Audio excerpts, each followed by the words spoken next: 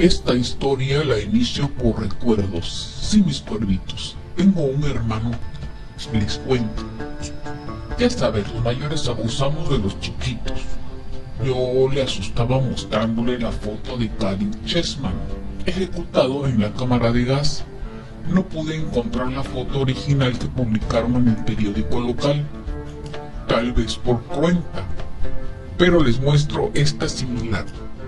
También les comparto un fragmento de la balada para Charlie Chessman. Ya saben, por derechos de autor no se la puedo mostrar completa, pero la pueden encontrar en las redes.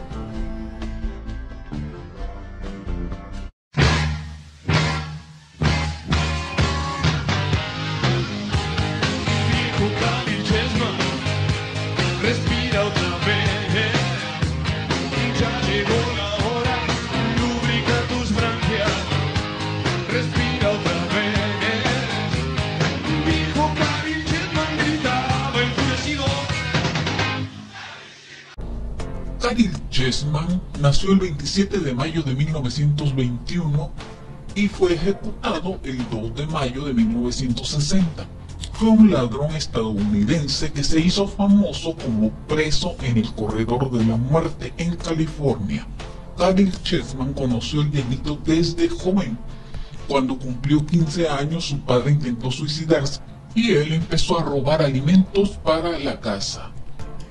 Inicialmente conocido como el bandido de la luz roja, porque se le inculpó por los hechos cometidos por un criminal que llevaba una sirena policial en el techo de su auto para confundir a sus futuras víctimas en las rutas de California. Gary Chessman saltó a la fama tras lograr evitar ser ejecutado a morir a la cámara de gas. Había sido condenado a muerte en 1948 y él pudo suspender su juicio durante 12 largos años. Durante ese tiempo trabajó sin cansancio en sus libros, verdaderas obras de historia legal americana, las cuales hoy no han podido ser igualadas.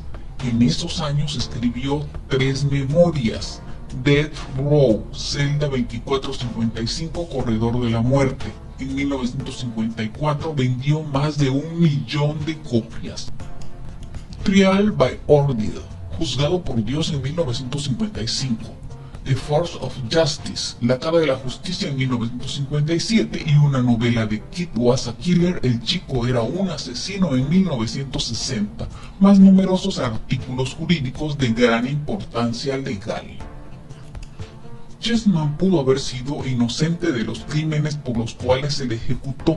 Esos crímenes, dos asaltos sexuales, fueron derivados de una larga cadena de pequeños robos y asaltos cometidos. El sobrenombre con el cual fue conocido, Gary Chessman, era el bandido de la luz roja, que se ganó al conocerse su modus operandi. Las villas cariño de las afueras de San Francisco eran igualmente visitadas por un supuesto policía utilizaba una luz roja en el techo de su automóvil.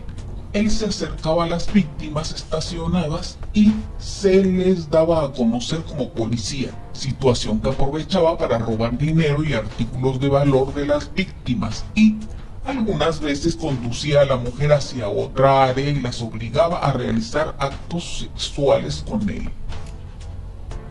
Sin embargo, la descripción física que dieron las víctimas sobre su agresor no coincidía con el aspecto de Chestman, y Caril nunca pudo ser identificado por las mujeres agredidas en las ruedas de los presos de los cuales Chessman fue incluido.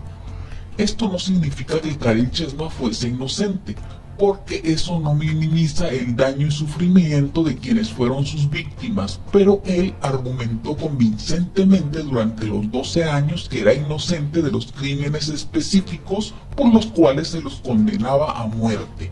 Yo no soy un violador, nunca lo he sido, yo soy un ladrón, decía. El inusual caso junto a la enorme popularidad de los libros de Carrie Chessman llevaron a la gente se volcara a su favor y salieran a las calles a reclamar el cambio de condena. Entre los reclamos que se hacían, se intentaba convencer a las autoridades penales y estatales del cambio de conducta de Chessman. Había logrado, tras 12 años en prisión, se escribió un petitorio de alcance mundial por su cambio de sentencia. Entre los que firmaron el petitorio se encontraba Eleanor Roosevelt, Pablo Casals, Ray Bradbury, Norman Mailer, Darwin McDonald y Robert Frost. El caso de Chessman fue llevado al cine con un protagonista de otro nombre, Webb. En 1955 el contenido del film, basado en su autobiografía, fue alterado por Hollywood para llevarlo políticamente más correcto, pero el personaje de Webb conservó curiosamente los mismos rasgos y detalles de Carl Chessman. Mientras vivía en prisión, sus libros fueron traducidos a numerosos idiomas. Periodistas de toda América y Europa venían a entrevistarlo periódicamente.